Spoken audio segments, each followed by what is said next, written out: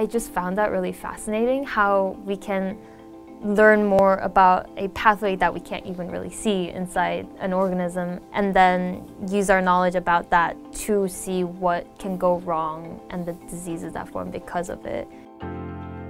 And then also how to treat it by making things go right. We often take it for granted that things grow proportionally, but that's because the process is really tightly coordinated in ways that we don't fully understand. That's why having the entire genome sequence is really useful.